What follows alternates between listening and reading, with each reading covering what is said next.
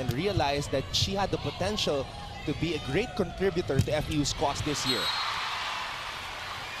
Meanwhile, for Ateneo, this is the specialty of the house for Maddie.